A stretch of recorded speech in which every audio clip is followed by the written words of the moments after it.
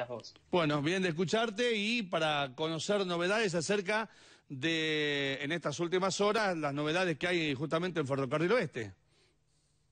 Bueno, en sí las novedades son pocas, se está esperando el comunicado oficial por parte del club porque hay mucho hermetismo con el tema del COVID y algunos positivos que, aparecerían y afectarían a Diego Sela para armar el 11, así que hay dudas hasta hoy mismo para, para saber cuál va a ser eh, la alineación inicial que parará el equipo, el técnico de Ferro para mañana. Aparte, dentro de los resultados, no le viene siendo favorable al equipo de Ferro desde que comenzó este torneo. Exactamente, el arranque eh, tiene que ver con tres derrotas en los cuatro partidos que disputó.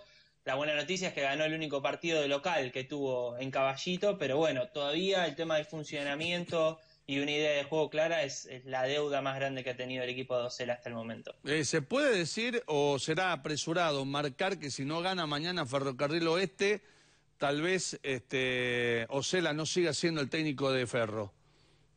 Mira, en la semana comenzaron a haber rumores, eh, se especuló un poco con el tema, nada concreto. Lo que sí es que algunos de los dirigentes ya empiezan a mirar de reojo un poco el tema de, la continuidad de Ocela. No sé si para este partido puntual, pero quizás este o el que viene tenga mucho que ver. También cómo se ve el resultado del sábado con todo este tema de, los COVID positivos tendrá bastante eh, influencia. Ahora, dentro de lo que se ha movido este mercado, sabemos que Ferrocarril Oeste tiene una persona importante dentro de lo que es las representaciones futbolísticas, que llevó jugadores y todo. ¿Cuáles han sido el rendimiento más allá de los resultados negativos?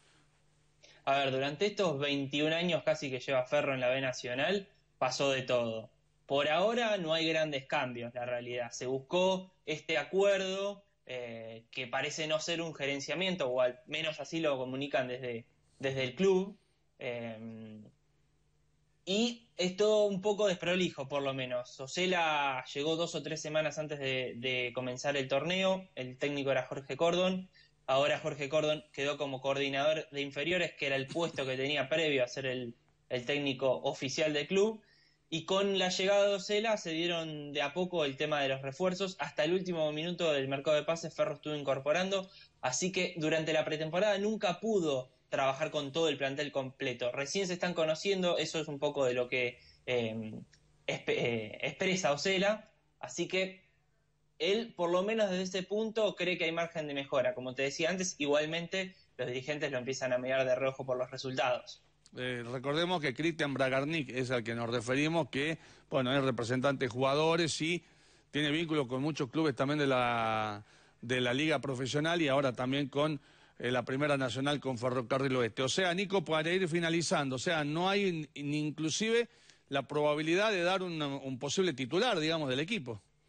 Eh, por el momento imposible. Desde el club están monopolizando esa información, así que no han comunicado. Esta tarde saldría una comunicación eh, oficial y a partir de ahí, dependiendo de la cantidad de positivos que haya o especulaciones de positivos o de contactos estrechos, se podrá empezar a armar. Lo que sí se puede saber es que viene complicada la cosa.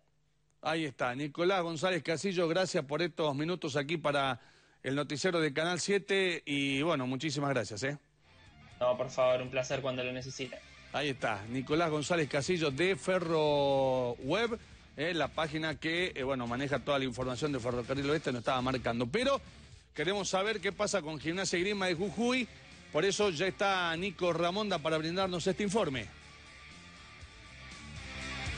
Hola Héctor, ¿cómo te va? Muy buenas tardes para todos. Aquí estamos en el 23 de agosto. Aquí va a entrenar Gimnasia y Grima de Jujuy y después va a viajar hacia Buenos Aires para enfrentar mañana a las 2 de la tarde a Ferrocarril Oeste. Un gimnasia que se ha preparado esta semana distinto después de haber ganado el fin de semana pasado.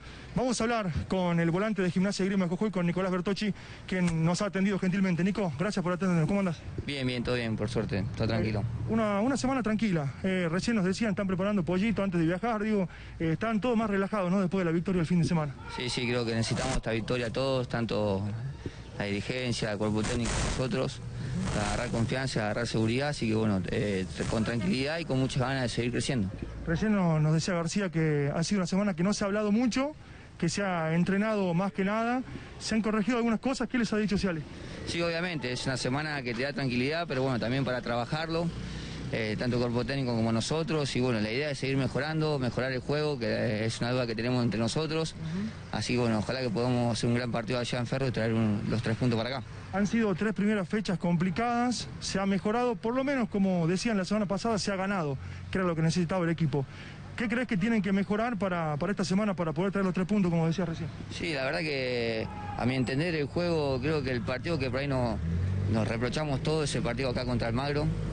Eh, creo que el otro partido lo, competimos, lo jugamos, pero bueno, no se nos dio desde el resultado.